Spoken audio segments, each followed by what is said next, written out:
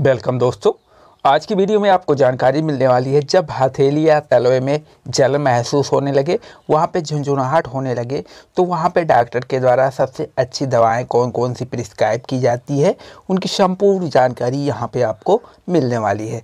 तो यहाँ पे अगर हम सबसे पहले बात करें सिम्टम्स यानी जब पैरों में किसी प्रकार का सिम्टम्स अपेयर होगा, जब ऐसी कंडीशन होगी तो सबसे पहले पैरों के जो तलवे होंगे, वहाँ पर काफ़ी ज़्यादा जलन होगी एंकल के पास भी काफ़ी ज़्यादा पेन होगी, और ये जैसे कि आपको चीटी काट रही है, कुछ उस तरह से एहसास होगा।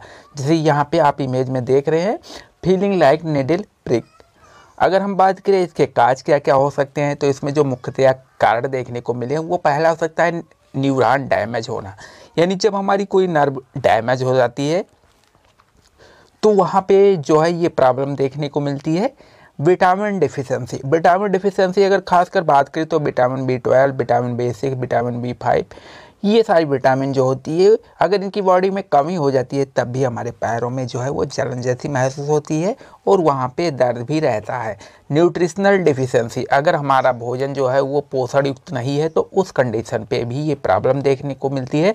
हाइपोथायरोडिन, अगर किसी में हाइपोथायरोडिन की है, उसको अगर ये बीमारी है तो उस कंडीशन पे भी ये जो है हाथों और तलों में जो जलन महसूस होती है, वो भी देखने को मिलती है।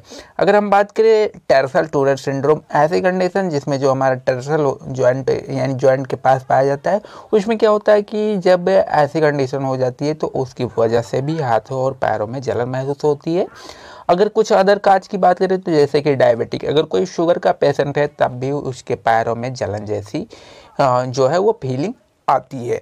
अगर हम बात करें इसमें डॉक्टर के द्वारा किस प्रकार से ट्रीटमेंट की जाती है तो इसके कई प्रकार से ट्रीटमेंट की जाती है। कुछ तो होम रेमेडी है, जैसे कि आप, अगर आपका पैर ज़्यादा चल रहा है तो आप एक बार टब लीजिए, उसमें अपने, यानी वाटर को डाल के, उसमें आप अपने पैरों को लगभग दो तीन बार दिन में रखें तो उससे भी आपको राहत मिलेगी। कई सारे आयरमेंट आते हैं टर्मरिक आती है टर्मरिक को भी आप अपने पैरों पर अप्लाई कर सकते हैं, उससे भी आपको राहत मिल सकती है। तो खासकर यहाँ पे बात करेंगे मेडिसिनल ट्रीटमेंट जिसमें आप मैको नर्व फोड़ करके जो आती है कैप्सूल आती है, ये ये कैप्सूल काफ़ी ज़्यादा इफ़ेक्टिव होती है ऐसी प्रॉब्लम को ट्रीट करने के लिए। इसमें पाया जाता है मिकोबलामिन बेनोफोर्टी एमीन पायरिडॉक्सिन इनोसिटाल अल्फालिवोइक और फोलिक एसिड ये सारे कंपोजिशन होते हैं और ये कैप्सूल आपको काफ़ी ज़्यादा इफ़ेक्टिव होती है ऐसी प्रॉब्लम को ट्रीट करने के लिए। कुछ अदर मेडिसिन की बात करें तो जैसे कि ऑप्टीन्यूरान फोर्ट की टैबलेट आती है न्यूरोबयान प्लस की टैबलेट आती है न्यूरोकाइंड की भी आती है,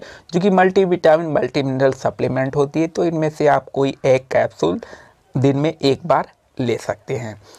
अदर ट्रीटमेंट की बात करें तो कुछ ऐसी कंडीशन होती है जिसमें न्यूरोपैथिक पेन रहता है, उसकी वजह से जलन होता है, यानी जो हमारे नर्व होते हैं वो डैमेज हो जाते हैं, तब उसकी वजह से ऐसी अगर प्रॉब्लम होती है तो वहाँ पे प्रीगापालीन की प्लेन भी आती है और प्रीगापालीन जो है, वो कंपोजिशन में भी आता है, जिसमें नाट्रिप्टिलिन और मीकोबलामिन आती है। तो इसका भी यूज़ किया जाता है। ये सीवियर पेन जब काफ़ी ज़्यादा पेन भी हो, जलन भी हो, तब रेसनर प्लस कैप्सूल जो है वो डॉक्टर के द्वारा दी जाती है। सॉरी, ये टेबलेट फॉर्म में आती है।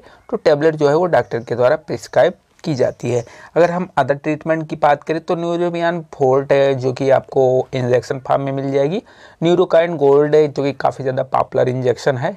क्योंकि ये न्यूट्रिशनल सप्लीमेंट की तरह है और इसमें मल्टीविटामिन मल्टी मिनरल कंपोजिशन होता है तो इनमें से आप कोई एक इंजेक्शन हफ़्ते में एक बार ले सकते हैं, यानी वीक में एक बार एक इंजेक्शन दिया जा सकता है। इसको या तो आप ड्रिप की मदद से लगवा सकते हैं, या डायरेक्ट भी लगवा सकते हैं। अगर हम कुछ अदर ट्रीटमेंट की बात करें तो क्या होता है कि जैसे वहाँ पे ज़्यादा जलन महसूस हो और न्यूरोपैथिक पेन भी हो तो उस कंडीशन पे एरीगावा ऑयलमेंट आती है, जो कि काफ़ी ज़्यादा इफ़ेक्टिव होती है ऐसी प्रॉब्लम को ट्रीट करने के लिए। अगर इसमें बात करें कंपोजिशन तो गावा पेंटीन पाया जाता है कीटोप्रोफेन कैसेकिन और मेथाइल सेलिसिलेट ऑयलमेंट पाया जाता है। तो ये सारी जो कंपोजिशन होती है, वो काफ़ी ज़्यादा इफ़ेक्टिव होती है ऐसी प्रॉब्लम को ट्रीट करने के लिए। कुछ अदर जैसे लिग्नोकेन के ऑर्नमेंट आते हैं, उनका भी इस्तेमाल किया जाता है, और कुछ हर प्रोडक्ट भी आते हैं, उनका भी इस्तेमाल किया जाता है ऐसी प्रॉब्लम को ट्रीट करने के लिए। आई होप दोस्तों ये जानकारी आप लोगों को बेहद पसंद आई हो। अगर ये जानकारी आप लोगों को पसंद आई हो तो फटाफट हमारे चैनल को सब्सक्राइब कर लीजिए। अगर ऐसे वीडियो और चाहिए तो हमें कमेंट करके ज़रूर बताएँ। थैंक यू दोस्तों।